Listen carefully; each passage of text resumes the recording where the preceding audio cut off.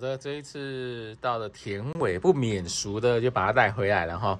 碎花兰哈，呃，这个是黄金色的碎花兰。那碎花兰其实看起来像稻穗一样哈，很可爱哈。然后它其实是一种附生兰哈，所以回去要种，其实也可以把它当成。豆呃蝴蝶兰之类的，把它种到板子上哈，因为它在原产地是属于附生兰系列哈。那这种碎花兰呢，大部分的花季在十二月左右哈，秋季到十二月的花季左右，它会有花期，大概是两个礼拜多左右的时间哈。其实它是属于碎花兰属的那一系列的哈。那看起来像稻穗哈，很可爱的稻穗哈，黄金色的。当然也有红色的个体哈，那这种碎花兰呢，呃，它原产地是菲律宾的产地哈。那分成几种，一种是黄色的黄金稻穗，一种是红色的哈。那像它，红色的开花会比黄色的再晚一些些哈，基本上晚个大概，呃，基本上晚了大概。两个礼拜到三个礼拜说左右哈，有些说它在一月多左右开花，所以呢，其实这个在十二月多，这个在一月多，两个季节会略略的有差别。所以你看黄穗已经出打上来了哈，你看它整个就打上来了。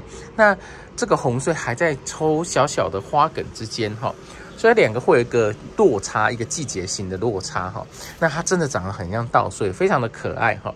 虽然它外表看起来很不像兰花哈。那今年我会尝试把它上板哈，你会觉得在板子上种植，然后有一个很像稻穗的东西，还蛮有趣的哈。就是它其实它的概念就是台湾的黄穗兰的国外的品种哈。那黄穗兰其实是一个很大的品种哈，像这个呢，它除了黄色之外呢，还有红色之外，还有一种是白色的哈。那白色的黄穗呢，它的开花季就完全跟这两个完全不一样。白色的开花季在五六月哈，完全是夏天的季节哈，所以你可以看三种的开花季是很明显有区分出来的。这个是属于在大概十二月多左右，十一月到十二月多左右。去年的时间比较早哈，去年在十二月初就看过了哈。那今年到十二月中，那这个呢可能到一月多左右的时间哈。所以这两颗的，你看这两颗看起来都一模一样，只它开花季就完全不一样哈，算是一个。非常非常有趣的品种之一哈，算是小品兰花了哈，黄穗。那它的开花性呢很有趣，它是从这个每一个结晶起来抽，就抽一个稻穗一样的东西开起来哈。那它的花在哪里啊？花是这个小小的小小的里头哈，这个这个里头就是一个花哈。所以呢，如果你要看它的花是比较。要看里面的东西，它外表看起来就像稻穗一样哈，一个一个一个哈，那它会这样抽起来，那算是缩小版的稻穗哈，非常的好玩哈。我觉得这种品种就是很非常好玩，就像杂薯类的非常好玩。那应该是不太带有香味啦，因为表示它的花会非常非常的小哈，因为它花只有在旁边的。这个小小的哈，这个小小的哈，那整体开起来就带有黄金色的感觉哈。那所以它它像这个种的是粗料，有些种的是石头哈，其实就是当呃附生兰的种植的方式去种哈。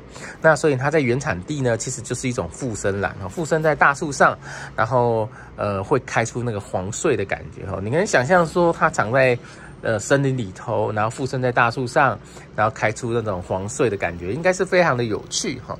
好，那红穗呢，就是要比较晚哈。红穗大概就是要在等哈，在等，基本上就是要到一月，将近快一月多左右。你看这个还在刚开始要开哈，它已经穗已经抽上来，不过刚开始要开哈。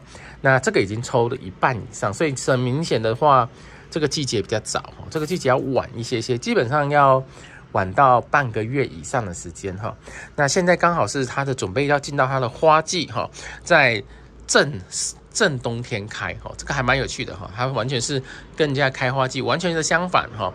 正冬天哈，在十二月的呃冬天里头开哈，那所以呢，在冬天的时候就看那个小小的稻草哈，小小的稻草放在家里头，觉得是蛮有趣的现象哈。